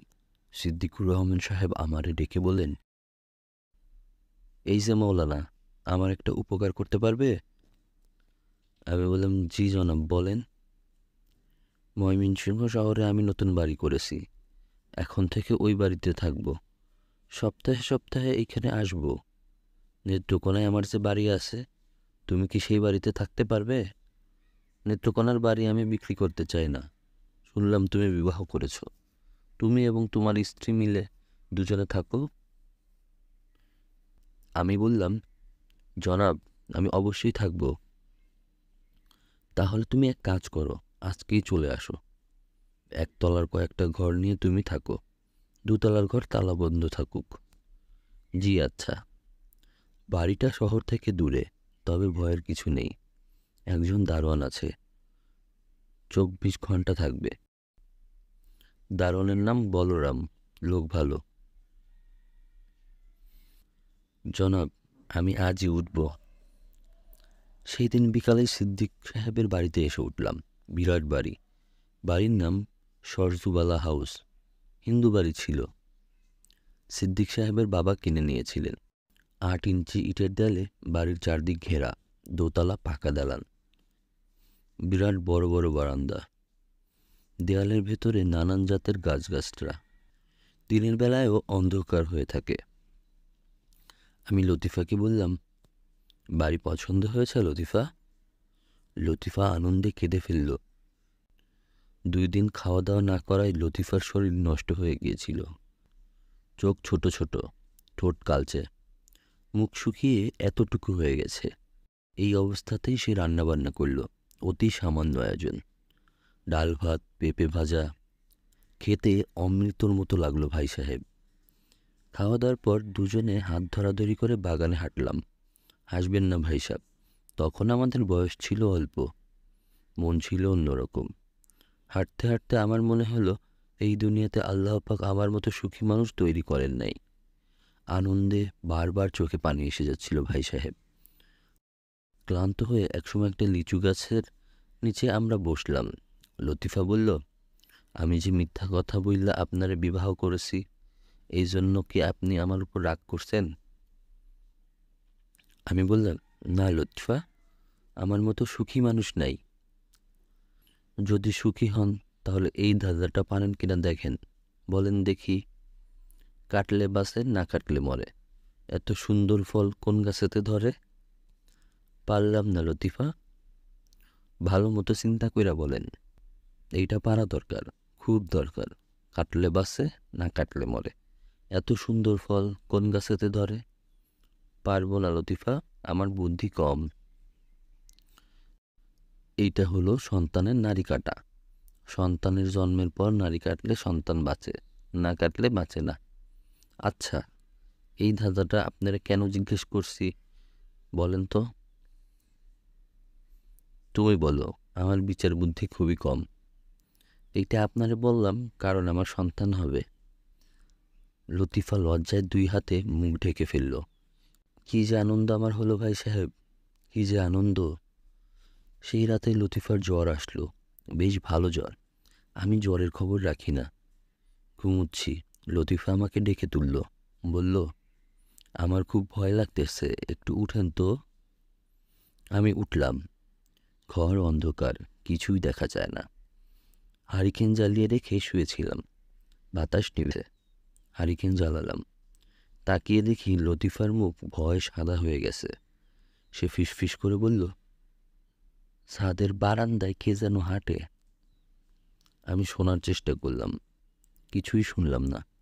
লতিফা বলল, আমি স্পষ্ট শুনেছি, একবার না, অনেকবার শুনেছি। জুতা পায়ে দিয়ে হাঁটে। জুতার শব্দ হয়, হাঁটার শব্দ হয়। বোধ হয় দারোয়ান। না দারোয়ান না, অন্য কেউ। কি করে বুঝলে অন্য কেউ? বললাম, না, জুতার শব্দ। দারোয়ান, কি জুতা পরে? তুমি থাকো, আমি খোঁজ নিয়ে আসি। না না, এইখানে একা থাকলে আমি মরে যাব। আমি লতিফার হাত ধরে বসে রইলাম। এই প্রথম বুঝলাম, লতিফার খুব খুব জ্বর। জ্বর আরও বাড়ল। একসময় জ্বর নিয়ে ঘুমিয়ে পড়ল। তখন আমি নিজেই শব্দটা শুনলাম। ঝনঝন শব্দ। জুতার শব্দ না, অন্যরকম শব্দ। ঝন ঝন ঝন ঝন। এক মনে আয়াতাল কুর্সি পড়লাম। তিনবার আয়াতাল কুর্সি পরে হাততালি দিলে সেই হাততালির শব্দ যত দূর যায় তত দূর কোনো চিনভূত আসে না। হাততালি দেওয়ার পর ঝনঝন শব্দ কমে গেল, তবে পুরোপুরি গেল না। আমি সারা রাত জেগে কাটালাম। ভোরবেলা সব স্বাভাবিক। রাতে যে এত ভয় পেয়েছিলাম মনেই রইল না। লতিফের গায়েও জ্বর নাই। সে ঘর দুয়ার গুছাতে শুরু করল। একতলার সর্বদক্ষিণের দুটা ঘর আমরা নিয়েছি, বারান্দা আছে। কাছেই কলঘর। লতিফা নিজের সংসার ঠিকঠাক করতে ব্যস্ত হয়ে পড়ল। দারোয়ান বলরাম সাহায্য করার জন্য চলে আসলো। বলরামের বয়স প্রায় সত্তরের কাছাকাছি। আদিবাড়ি নেপালে। দশ বছর বাংলাদেশে এসেছে। আর ফিরে যায়নি। এখন পুরোপুরি বাঙালি। বাঙালি একটা মেয়েকে বিয়ে করেছিল। সে মেয়ে মরে গেছে।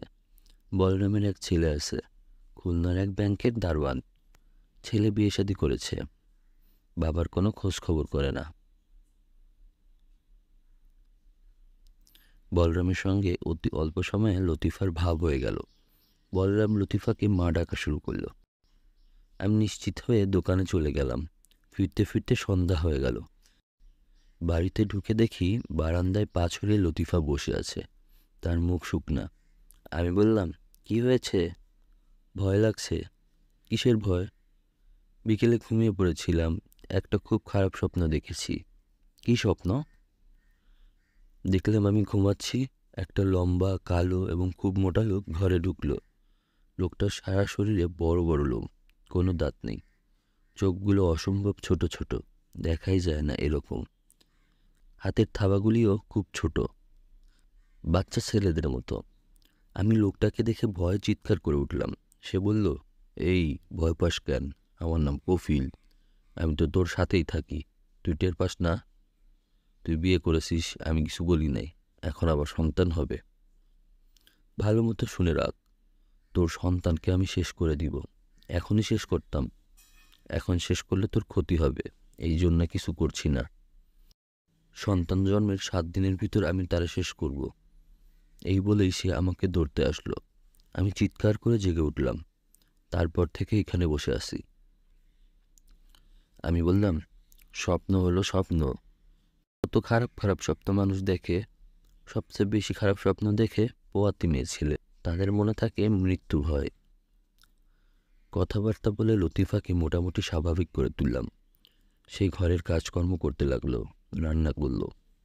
আমরা সকাল সকাল খাওয়া দাওয়া করলাম। তারপর বাগানে হাঁটতে বের হলাম। লতিফা বলল, এই বাড়িতে একটা দোষ আছে সেইটা কি আপনি জানেন? কি দোষ? এই বাড়িতে একটা খারাপ কুয়া আছে। সিদ্দিক সাহেবের চার বছরের একটা মেয়ে কুয়ায় পড়ে মারা গিয়েছিল। কুয়াটা দোষী। কি যে তুমি বলো কুয়া দোষী হবে কেন? বাচ্চা মেয়ে খেলতে খেলতে পড়ে গেছে। তা না কুয়াটা আসলেই দোষী। কে বলেছে? বলরাম বলেছে। কুয়াটার মুখ সিদ্দিক সাহেব টিন দিয়ে ঢেকে দিয়েছিল। সেই টিনে রাতের বেলা ঝনঝন শব্দ হয়। মনে হয় কোনো বাচ্চা টিনের উপর লাফায়। তুমি গত রাতে কোনো ঝনঝন শব্দ শোনো নাই? আমি মিথ্যা করে বললাম "না, আমি কিন্তু শুনেছি। আমি বলরামের উপর খুব বিরক্ত হলাম। এইসব গল্প বলে ভয় দেখানোর কোনো মানে হয়? ঠিক করলাম, ভোরবেলায় তাকে ডেকে শক্তভাবে ধমক দিয়ে দেব। রাতে ঘুমোতে যাবার সময় লক্ষ্য করলাম লতিফার জ্বর এসেছে। সে কেমন ঝিম মেরে গেছে। মনটা খারাপ হয়ে গেল। হারিকেন জ্বালিয়ে রেখে ঘুমোতে গেলাম। গভীর রাতে ঘুম ভাঙল। লতিফা আমাকে ঝাঁকাচ্ছে, ঘর অন্ধকার। আমি বললাম হারিকেন আপনা আপনা নিভে গেছে। লতিফা বলল, হারিকেন আপনা আপনি নিভে গেছে। আমার বড় ভয় লাগতেছে। আমি হারিকেন জ্বালালাম আর তখনই ঝনঝন শব্দ পেলাম, একবার না, বেশ কয়েকবার। লতিফা ফিস করে বলল, শব্দ শুনলেন? আমি জবাব দিলাম না। লতিফা কাঁদতে লাগল। যতই দিন যেতে লাগল, লতিফার অবস্থা ততই খারাপ হতে লাগল। রোজ সে কফিলকে স্বপ্ন দেখে। কফিল তাকে শাসিয়ে যায়। বারবার মনে করিয়ে দেয়, বাচ্চা হওয়ার সাত দিনের মধ্যে সে বাচ্চা নিয়ে নেবে। মনের শান্তি পুরোপুরি নষ্ট হয়ে গেল। আমি লতিফাকে তার বাবার বাড়িতে নিয়ে যেতে চাইলাম। সে রাজি হলো না। প্রয়োজনে সে এখানেই মরবে, কিন্তু বাবার বাড়িতে যাবে না। আমি তার জন্য তাবিজ কবজের ব্যবস্থা করলাম, বাড়ি বন্ধের ব্যবস্থা করলাম। আমি দরিদ্র মানুষ। তবু একটা কাজের মেয়ের ব্যবস্থা করলাম, যেন সে সারাক্ষণ লতিফার সঙ্গে থাকে। কিছুতেই কিছু হলো না। এক সন্ধ্যাবেলায় বাসায় ফিরে দেখি লতিফা খুব সাজগোজ করেছে। লাল একটা শাড়ি পরেছে। পান খেয়ে ঠোঁট লাল করেছে। বেনি করে চুল বেঁধেছে। বেনিতে চার পাঁচটা জবা ফুল। সে পা ছড়িয়ে মেঝেতে বসে আছে। একটু দূরে বলরাম এবং কাজের মেয়েটা। তারা দুজন ভীত চোখে তাকিয়ে আছে লতিফার দিকে। আমাকে দেখেই লতিফা খিলখিল করে হেসে উঠল। হাসি আর থামতেই চায় না। আমি বললাম, কি হয়েছে লতিফা? লতিফা হাসি থামালো এবং আমাকে হতভম্ব করে দিয়ে পুরুষের গলায় বলল, মৌলানা আসছে। মৌলানা রে অজুর পানি দাও, নামাজের পাটি দাও। কেবলা কোন দিকে দেখাইয়া দাও, টুপি দাও, তসবি দাও। আমি বললাম, এই রকম করতেছো কেন লতিফা? লতিফা হাসতে হাসতে ভেঙে পড়ে বলল, ও মা, মেয়ে ছেলের সঙ্গে দেখি মৌলানা কথা বলে। সি সি সি মৌলানা লজ্জা নাই। আমি আয়াতুল কুরসি পড়া শুরু করলাম। আমাকে থামিয়ে দিয়ে লতিফা চিৎকার করে বলল, চুপ করো, আমার নাম কফিল। তোমার মতো মৌলানা আমি দশটা হজম করে রাখছি। গোটা কোরআন শরীফ আমার মুখস্থ। আমার লগে পাল্লা দিবা? আয়, পাল্লা দিলে আয়। প্রথম থেকে শুরু করি। হি হি হি হি হি। ভয় পাইছোস ভয় পাওনেরই কথা। বেশি ভয় পাওনের দরকার নাই। তোরে আমি কিছু বলব না। তোর বাচ্চাটারে শেষ করব। তুই মাওলানা মানুষ। তুই বাচ্চা দিয়ে কি করবি? তুই থাকবি মসজিদে। মসজিদে বসে তুই তোর আল্লাহরে ডাকবি। পোলাপান না থাকাই তোর জন্য ভালো। হি হি হি হি হি হি। একটা ভয়ঙ্কর রাত পার করলাম ভাই সাহেব সকালে দেখি সব ঠিকঠাক। লতিফা ঘরের কাজকর্ম করছে। এইভাবে দিন পার করতে লাগলাম, কখনো ভালো, কখনো মন্দ। লতিফা যখন আট মাসের পোয়াতি, তখন আমি হাতে পায়ে ধরে আমার শাশুড়িকে এই বাড়িতে নিয়ে আসলাম। লতিফা খানিকটা শান্ত হলো। তবে আগের মতো সহজ স্বাভাবিক হলো না। চমকে চমকে ওঠে। রাতে ঘুমোতে পারে না। ছটফট করে। মাঝে মাঝে ভয়ঙ্কর দুঃস্বপ্ন দেখে। সেই দুঃস্বপ্নে কফিল এসে উপস্থিত হয়। কফিল চাপা গলায় বলে, দেরি নাই, আর দেরি নাই, পুত্র সন্তান আসতেছে। সাত দিনের মধ্যে নিয়ে যাব। কান্দাকাটি যা করার, কইরা নেও।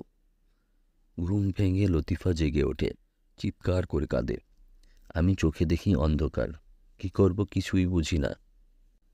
শ্রাবণ মাসের তিন তারিখে লতিফার একটি সন্তান হলো। কি সৌন্দর্য ছেলেটা হলো ভাই সাহেব, না দেখলে বিশ্বাস করবেন না। চাপা ফুলের মতো গায়ের রং, টানা টানা চোখ। আমি একশো রাকাত শুক্রানের নামাজ পড়ে আল্লাহর কাছে আমার সন্তানের হায়াত চাইলাম। আমার মনের অস্থিরতা কমল না। আতুর ঘরের বাইরে একটা বেঞ্চ পেতে রাতে শুয়ে থাকি। আমার স্ত্রীর সঙ্গে থাকেন আমার শাশুড়ি আর আমার স্ত্রীর দূর সম্পর্কের এক খালাতো বোন। পালা করে কেউ না কেউ সারা রাত জেগে থাকি। লতিফার চোখে এক ফোঁটাও ঘুম নেই সন্তানের মা। সারাক্ষণ বাচ্চা বুকের নিচে আড়াল করে রাখে, মুহূর্তের জন্য চোখের আড়াল করে না। আমার শাশুড়ি যখন বাচ্চা কোলে নেন, তখনও লতিফা বাচ্চার গায়ে হাত দিয়ে রাখে, যেন কেউ নিয়ে যেতে না পারে। ছয় দিনের দিন কি হলো শোনেন, ঘোর বর্ষা। সারাদিন বৃষ্টি হয়েছে, সন্ধ্যার পর আকাশ ভেঙে বৃষ্টি নামল। এরকম বর্ষা আমি আমার জীবনে দেখি নাই। লতিফা আমাকে বলল, আজ রাতটা আপনি জাগনা থাকবেন, আমার কেমন জানি লাগতেছে। আমি বললাম, কেমন লাগতেছে? জানি না, একটু পরে পরে শরীর কাঁপতেছে। তুমি নিশ্চিত হয়ে থাকো, আমি সারা রাত জাগনা থাকব। আপনি একটু বলরামরেও খবর দেন। সেও যেন জাগনা থাকে। আমি বলরামকে খবর দিলাম। লতিফা বাচ্চাটারে বুকের নিচে নিয়ে শুয়ে আছে। আমি এক মনে আল্লাহ পাকড়ে রাখতেছি জীবন দেওয়ার মালিক তিনি, জীবন নেওয়ার মালিকও তিনি। রাত তখন কত আমি জানি না ভাই সাহেব, ঘুমায় পড়েছিলাম। লতিফার চিৎকারে ঘুম ভাঙল। সে আসমান ফাটাইয়া চিৎকার করতেছে, আমার বাচ্চা কই গেল? আমার বাচ্চা কই গেল? দুইটা হারিকেন জ্বালানো ছিল, দুইটাই নিভানো। পুরো বাড়ি অন্ধকার। কাঁপতে কাঁপতে হারিকেন জ্বালালাম। দেখি সত্যি বাচ্চা নাই। আমার শাশুড়ি ফিট হয়ে পড়ে গেলেন। লতিফা ঝড় বৃষ্টির মধ্যে দৌড়ায় ঘর থেকে বের হয়ে গেল। ছুটে গেল কুয়ার দিকে। কুয়ার উপর টিন দিয়ে ঢাকা ছিল। তাকায় দেখি টিন সরানো। লতিফা চিৎকার করে বলছে, আমার বাচ্চার কুয়ার ভিতর ফালাইয়া দিছে। আমার বাচ্চা কুয়ার ভিতর। লতিফা লাভ দিয়ে কুয়াতে নামতে চাইল। আমি তাকে জড়ায় ধরলাম। ইমাম সাহেব চুপ করে গেলেন, কপালের ঘাম মুছলেন। আমি বললাম, বাচ্চাটা কি সত্যি কুয়াতে ছিল? জি। আর দ্বিতীয় বাচ্চা, সেও কি একইভাবে মারা যায়? জিনা জনাব, আমার দ্বিতীয় সন্তান বাড়িতে জন্মগ্রহণ করে। সিদ্দিক সাহেবের ওই বাড়ি তাহলে আপনি ছেড়ে দেন? জি। তাতে অবশ্য লাভ হয় না, কফিলের যন্ত্রণা কমে না। দ্বিতীয় সন্তানটাকেও সে মারে, জন্মের চার দিনের দিন। আমি আঁতকে উঠে বললাম, থাক ভাই, আমি শুনতে চাই না। গল্পগুলো আমি সহ্য করতে পারছি না। ইমাম সাহেব বললেন, আল্লাহ পাক আর একটা সন্তান দিতেছেন, কিন্তু এই সন্তানটাকেও বাঁচাতে পারব না। মনটা বড়ই খারাপ ভাই সাহেব, বড়ই খারাপ। আমি কতবার চিৎকার করে বলেছি, কফিল, তুমি আমারে মেরে ফেলো, আমার সন্তান রে মেরো না এই সুন্দর দুনিয়া দ্বারে দেখতে দাও। ইমাম সাহেব কাঁদতে লাগলেন। কিছুক্ষণের মধ্যেই ভোর হলো। ইমাম সাহেব ফজরের নামাজের প্রস্তুতি নিতে লাগলেন। সেই দিন ভোরেই আমি শফিককে নিয়ে ঢাকায় চলে এলাম। শফিকের আরও কিছুদিন থেকে কালুকা রহস্যভেদ করে আসার ইচ্ছে ছিল। আমি তা হতে দিলাম না। ইমাম সাহেবের সঙ্গে আরও কিছু সময় থাকা আমার পক্ষে সম্ভব ছিল না। সাধারণত আমি আমার জীবনের ভয়ঙ্কর অভিজ্ঞতার গল্প মিশি আলীর সঙ্গে দেখা হওয়া মাত্র বলি। মজার ব্যাপার হচ্ছে ইমাম সাহেবের এই গল্প তাকে বলা হলো না। ঢাকায় ফেরার তিন দিনের মাথায় তার সঙ্গে আমার দেখা। নানান কথাবার্তা হলো। এটা বাদ পড়ে গেল। দুই মাস পর মিশির আলী আমার বাসায় এলেন। রাতে একসঙ্গে খাওয়া দাওয়া করলাম। তিনি প্রায় দুই ঘণ্টা কাটিয়ে বাড়ি চলে গেলেন। ইমাম সাহেবের গল্প বলা হলো না। তিনি চলে যাবার পরে মনে হলো ইমাম সাহেবের গল্পটা তো তাকে শোনানো হলো না। আমি আমার মেয়েকে বলে রাখলাম যে, এরপর যদি কখনো মিসির আলী সাহেব আমাদের বাসায় আসেন, সে যেন আমার কানের কাছে ইমাম বলে একটা চিৎকার দেয়। আমার এই মেয়ের স্মৃতিশক্তি সে যে সে যে যথাসময় ইমাম বলে চিৎকার দেবে, এ বিষয়ে আমি নিশ্চিত। হলো তাই। কয়েকদিন পর মিসির আলী সাহেব এসেছেন। তার সঙ্গে গল্প করছি। আমার মেয়ে কানের কাছে এসে বিকার চিৎকার দিল। এমন চিৎকার যে মেজাজ খারাপ হয়ে গেল। মেয়েকে কড়া ধমক দিলাম। মেয়ে কাঁদো কাঁদো হয়ে বলল, তুমি তো বলেছিলে মিশির ছাত্রী এলে ইমাম বলে চিৎকার করতে। আমি বিরক্ত হয়ে বললাম, কানের পর্দা ফাটিয়ে দিতে বলিনি। যাও, এখন যাও তো। মিস্ত্রাইল বললেন, ব্যাপারটা কি? আমি বললাম, তেমন কিছু না। আপনাকে একটা অভিজ্ঞতার কথা বলতে চাচ্ছিলাম। আপনার সঙ্গে দেখা হয়, কিন্তু গল্পটা বলার কথা মনে থাকে না। মেয়েকে মনে করিয়ে দিতে বলেছি। সে এমন চিৎকার দিয়েছে, এখন মনে হচ্ছে বাগানে কিছুই শুনতে পারছি না। মিসির বললেন, গল্পটা কি? বলুন শুনি। আজ থাক আর একদিন বলব। একটু সময় লাগবে, লম্বা গল্প। মিসির আলী বললেন আর এক কাপ চা দিতে বলুন। চা খেয়ে বিদায় হই। চায়ের কথা বলে মিশির আলীর সামনে এসে বসলাম। মিশির আলি সিগারেট ধরাতে ধরাতে বললেন, ইমাম সাহেবের গল্পটা আপনি আমাকে কখনোই বলতে পারবেন না। আমি অবাক হয়ে বললাম, কেন? আপনার মস্তিষ্কের একটা অংশ আপনাকে গল্পটা বলতে বাধা দিচ্ছে। যে কারণে অনেক দিন থেকেই আপনি আমাকে গল্পটা বলতে চান, অথচ বলা হয় না। আপনার মনে থাকে না। আজ আপনাকে মনে করিয়ে দেয়া হলো। এবং মনে করিয়ে দেওয়ার পর আপনি রেগে গেলেন। তার চেয়েও বড় কথা মনে করে দেবার পরেও আপনি গল্পটি বলতে চাচ্ছেন না। অজুহাত বের করেছেন, বলছেন লম্বা গল্প। আমি নিশ্চিত আপনার অবচেতন মন চাচ্ছে না। এই গল্প আপনি আমাকে বলুন। আপনার সাবকনসিয়াস মাইন্ড আপনাকে বাধা দিচ্ছে। আমার সাবকনসিয়াস মাইন্ড আমাকে বাধা দিচ্ছে কেন? আমি তা বুঝতে পারছি না। গল্পটা শুনলে বুঝতে পারব। চা আসুক, চা খেতে খেতে আপনি বলা শুরু করুন। আমার সিগারেটও ফুরিয়েছে। কাউকে দিয়ে কয়েকটা সিগারেট আনিয়ে দিন। আমি আর কোনো অজুহাতে গেলাম না। গল্প শেষ করলাম। গল্প শেষ হওয়া মাত্রই মিসির আলি সাহেব বললেন, আবার বলুন। আবার কেন? মানুষ যখন প্রত্যক্ষ অভিজ্ঞতার গল্প বলে, তখন মূল গল্পটি দ্রুত বলার দিকে ঝোঁক বেশি থাকে। গল্পের ডিটেলসে যেতে চায় না। একই গল্প দ্বিতীয়বার বলার সময় বর্ণনা বেশি থাকে কারণ মূল কাহিনী বলা হয়ে গেছে। কথক তখন না বলা অংশ বলতে চেষ্টা করেন আপনিও তাই করবেন। প্রথমবার শুনে কয়েকটা জিনিস বুঝতে পারিনি দ্বিতীয়বার শুনলে বুঝতে পারব। শুরু করুন। আমি শুরু করলাম বেশ সময় নিয়ে বললাম মিশিয়ারি সাহেব বললেন কবে গিয়েছিলেন ধুন্দুলনারা তারিখ মনে আছে? আছে। আমি মিশির আলীকে তারিখ বললাম। তিনি শান্ত গলায় বললেন, আপনার তারিখ অনুযায়ী মেয়েটির বাচ্চা এখন হবে কিংবা হয়ে গেছে। আপনি বলছেন দশ মাস আগের কথা। মেয়েটির বাচ্চা হয়ে গিয়ে থাকলে তাকে যে হত্যা করা হয়েছে, সেই সম্ভাবনা নিরানব্বই ভাগেরও বেশি।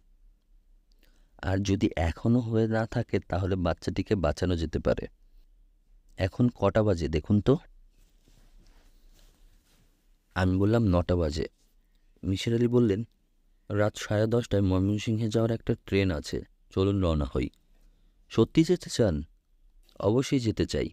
আপনার অসুবিধা থাকলে কীভাবে যেতে হবে, আমাকে বলে দিন, আমি ঘুরে আসি। আমার অসুবিধা আছে, তবু যাব। এখন বলুন তো, জিন কফিলের ব্যাপারটা আপনি বিশ্বাস করেছেন? না। আপনার ধারণা বাচ্চাগুলোকে খুন করা হয়েছে? তা তো বটেই। কে খুন করেছে? মিশির আলী সিগারেট ধরাতে ধরাতে বললেন, কে খুন করেছে তা আপনিও জানেন। আপনার সাবকনসিয়াস মাইন্ড জানে। জানে বলেই সাবকনসিয়াস মাইন্ড গল্পটি আপনাকে বলতে বাধা দিচ্ছিল। আমি কিছুই জানি না। মিসির আলী হাসতে হাসতে বললেন, আপনার সাবকনসিয়াস মাইন্ড জানে, কিন্তু এটি আপনার সাবকনসিয়াস মাইন্ডকে জানায়নি বলেই আপনার মনে হচ্ছে আপনি জানেন না। আমি বললাম, কে খুন করেছে? লতিফা, দুটি বাচ্চাই সে মেরেছে। তিন নম্বরটিও মারবে। কি বলছেন এসব? চলুন, রওনা হয়ে যাই। দেরি হয়ে যাচ্ছে। ট্রেনে যেতে যেতে ব্যাখ্যা করব। মিসির বললেন, লতিফা যে পুরো ঘটনাটা ঘটাচ্ছে তা পরিষ্কার হয়ে যায় শুরুতেই। যখন ইমাম সাহেব আপনাকে বলেন কীভাবে জিন কফিল তাকে আগুনে পুড়িয়ে মারার চেষ্টা করেছিল। পুরনো ধরনের মসজিদ। একটা মাত্র দরজা। এই ধরনের মসজিদে বসে থাকলে বাইরে চিৎকার শোনা যাবে না। ভেতর থেকে চিৎকার করলেও বাইরের কেউ শুনবে না। কারণ সাউন্ড ওয়েভ চলার মধ্যে মধ্যম লাগে। মসজিদের দেওয়াল সেখানে বাঁধার মতন কাজ করছে। আপনি এবং ইমাম সাহেব মসজিদে ছিলেন। ইমাম সাহেব একসময় স্ত্রীর খোঁজ নিতে গেলেন এবং ফিরে এসে বললেন, লতিফা খুব চিৎকার করছে। তাই না? জি, তাই। মসজিদের ভেতর বসে সেই চিৎকার আপনি শুনতে পাননি, তাই না? জি। অথচ ইমাম সাহেব যখন আগুন দেখে ভয় চেঁচালেন, বাঁচাও বাঁচাও, তখন লতিফা পানির বালতি নিয়ে ছুটে এলো। প্রথমত ইমাম সাহেবের চিৎকার লতিফার শোনার কথা নয়, দ্বিতীয়ত শুনে থাকলেও লতিফা কি করে বুঝলো আগুন লেগেছে? সে পানির বালতি নিয়ে ছুটে এলো কেন? আগুন আগুন বলে চিৎকার করলেও আমরা চিৎকার শুনে প্রথমে খালি হাতে ছুটে আসি। তারপর পানির বালতি আনি, এটাই স্বাভাবিক। এই মেয়েটি শুরুতে পানির বালতি নিয়ে ছুটে এসেছে, কারণ পানির বালতি হাতের কাছে রেখেই সে আগুন ধরিয়েছে। আমার এই যুক্তি কি আপনার কাছে গ্রহণযোগ্য মনে হচ্ছে? হচ্ছে। প্রথম শিশুটি মারা গেল। শিশুটিকে ফেলা হলো কুয়ায়। এই খবর মেয়েটি জানে। কারণ সে পাগলের মতো ছুটে গেছে কুয়ার দিকে, অন্য কোথাও না। তার বাচ্চাটিকে কুয়াতে ফেলা হয়েছে, এটা সে জানল কীভাবে? জানার কারণ সে নিজেই ফেলেছে। এই যুক্তি কি আপনার কাছে গ্রহণযোগ্য মনে হচ্ছে? হ্যাঁ হচ্ছে। আপনাকে কি আরও যুক্তি দিতে হবে? আমার কাছে আরও ছোটোখাটো যুক্তি আছে। আর লাগবে না। শুধু বলুন, কুয়ার উপরে টিনে ঝনঝন শব্দ হতো শুধু বলুন, কুয়ার উপরে টিনে ঝনঝন শব্দ হতো কেন? যে শব্দ ইমাম সাহেব নিজেও শুনেছেন কুয়ার টিনটা না দেখে বলতে পারব না। তবে আমার ধারণা টিনটা কাঁপে, বাতাসে শব্দ হয় ঝনঝন ঝন। দিনের বেলায় এই শব্দ শোনা যায় না, কারণ আশেপাশে অনেক ধরনের শব্দ থাকে। রাত যতই গভীর হয়, চারপাশ নীরব হতে থাকে। সামান্য শব্দই বড় হয়ে কানে আসে তখন। আপনার এই যুক্তিও গ্রহণ করলাম। এখন বলুন, লতিফা এমন ভয়ঙ্কর কাণ্ড কেন করেছে? মেয়েটা অসুস্থ, মনোবিকার ঘটেছে। ইমাম সাহেব লোকটি তাদের আশ্রিত। তাদের পরিবারে চাকর বাকররা যে কাজ করে, সে তাই করত। মেয়েটি ভাগ্যের পরিহাসে এমন একজন মানুষের প্রেমে পড়ে যায়। প্রচণ্ড মানসিক চাপের সম্মুখীন হয়। পরিবারের সবার কাছে ছোট হয়। অপমানিতও হয়। এত প্রচণ্ড চাপ সহ্য করার ক্ষমতা তার ছিল না। তার মনোবিকার ঘটে। পোয়াতি অবস্থায় মেয়েদের হরমোনাল ব্যালান্স এদিক ওদিক হয়। সেই সময় মনোবিকার তীব্র হয়। মেয়েটির ক্ষেত্রেও তাই হয়েছে। মেয়েটি দরিদ্র ইমামকে বিয়ে করে কঠিন মানসিক চাপের সম্মুখীন হয়েছে। একই সঙ্গে সে লোকটিকে প্রচণ্ড ভালোবাসে, আবার প্রচণ্ড ঘৃণা করে। কি ভয়াবহ অবস্থা। মেয়েটি ইমামকে প্রচণ্ড ঘৃণা করে, এটা কেন বলছেন? ইমামতি পেশা মেয়েটির পছন্দ না। পছ- পছন্দ না বলেই মেয়েটি কফিলের গলায় বলেছে ইমাম আসছে, অজুর পানি দে, চায় নামাজ দে। কেবলা কোন দিকে বলে দে? এক ধরনের রসিকতা করার চেষ্টা করেছে। মনোবিকার এমন ভয়ঙ্কর রূপ নিল কেন? সে নিজের বাচ্চাকে হত্যা করছে কেন? বড় ধরনের বিকারে এরকম হয়। সে নিজেকে ধ্বংস করতে চাইছে। নিজের সন্তান হত্যার মাধ্যমে সেই ইচ্ছার অংশবিশেষ পূর্ণ হচ্ছে। আরও কিছু থাকতে পারে, না দেখলে বলতে পারব না। তুন্দুলনাড়া গ্রামে সন্ধ্যার পর পৌঁছালাম। পৌঁছেই খবর পেলাম পাঁচ দিন হয় ইমাম সাহেবের একটি কন্যা হয়েছে। কন্যাটি ভালো আছে। বড় ধরনের স্বস্তি বোধ করলাম। ইমাম সাহেবের সঙ্গে দেখা করলাম মসজিদে। তিনি আমাদের দেখে বড়ই অবাক হলেন। আমি বললাম, আপনার স্ত্রী কেমন আছেন? ইমাম সাহেব বিব্রত গলায় বললেন, ভালো না ভালো না, খুব খারাপ। কফিল তার সঙ্গে সঙ্গে আছে, কফিল আছে। সাত দিনের মাথায় মেয়েটাকে মেরে ফেলবে। খুব কষ্টে আছি ভাই সাহেব। আল্লাহ পাকের কাছে আমার জন্য খাস দিলে একটু দোয়া করবেন। আমি বললাম, আমি আমার এক বন্ধুকে সঙ্গে নিয়ে এসেছি। উনি আপনার স্ত্রীর সঙ্গে কিছু কথা বলবেন। ইমাম সাহেব বিস্মিত হয়ে বললেন, কেন? যাতে আপনার বাচ্চাটা ভালো থাকে, সুস্থ থাকে। উনি খুব বড় একজন সাইকিয়াট্রিস্ট। অনেক কিছু বুঝতে পারেন। যা আমরা বুঝতে পারি না। ওনার কথা শুনলে আপনাদের মঙ্গল হবে, এই জন্যই ওনাকে এনেছি। অবশ্যই আমি ওনার কথা শুনব, অবশ্যই শুনব। ইমাম সাহেব আমাদের ঘরে নিয়ে গেলেন। ঘরে অনেক লোকজন ছিল, তাদের সরিয়ে দেয়া হলো। মিসির আলী বললেন, আমি কিছু কথা বলব, যা শুনতে ভালো লাগবে না। তবু দয়া করে শুনুন। লতিফা চাপা গলায় বলল, আমার সাথে কি কথা? আপনার বাচ্চাটির বিষয়ে কথা। বাচ্চাটি যাতে বেঁচে থাকে, ভালো থাকে, সেই জন্যই আমার কথাগুলো আপনাকে শুনতে হবে। লতিফা তার স্বামীর দিকে কিছুক্ষণ তাকিয়ে থেকে বলল, বলেন, কি বলবেন? মিসির আলী খুবই নিরাসক্ত গলায় কথা বলতে শুরু করলেন। কথা বলার সময় একবারও লতিফার দিকে তাকালেন না। লতিফা তার শিশুকে বুকের কাছে নিয়ে খাটে হেলান দিয়ে বসে আছে। তার মাথায় লম্বা ঘোমটা।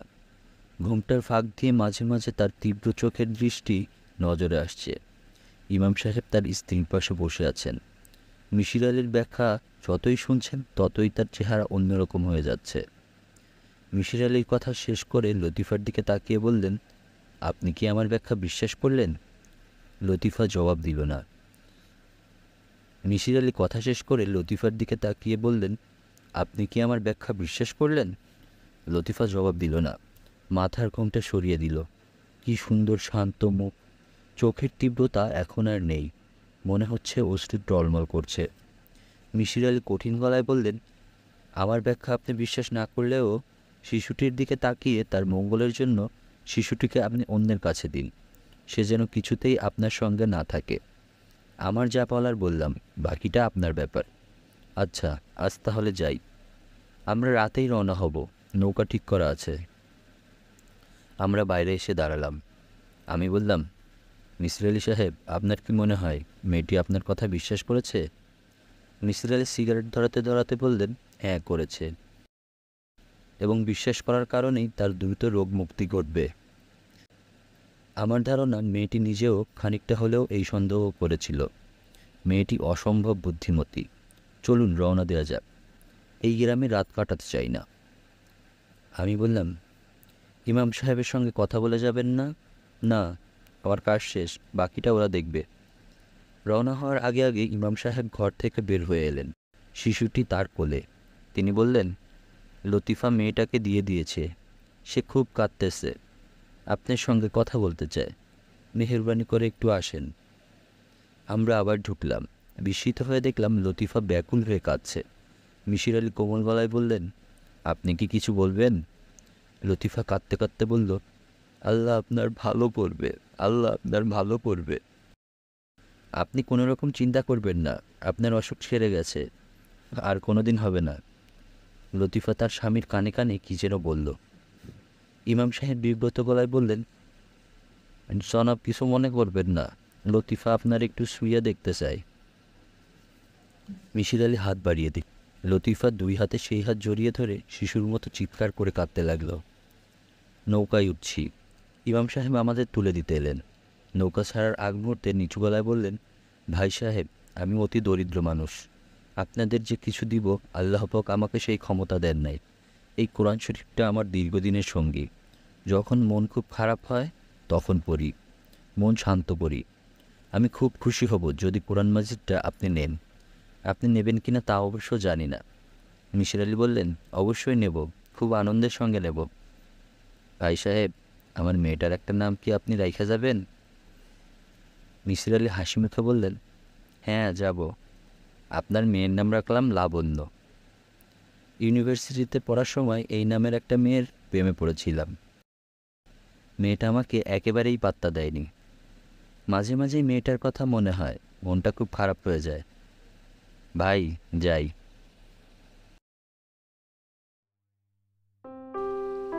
বন্ধুরা কেমন লাগছে আমাদের গল্পগুলো শুনতে?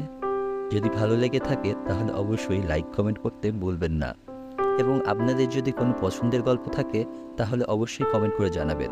আমরা অবশ্যই চেষ্টা করব সেটি আপনাদের পড়ে শোনাতে। আজকে এই পর্যন্তই। ভালো থাকবেন সবাই। আল্লাহ হাফেজ।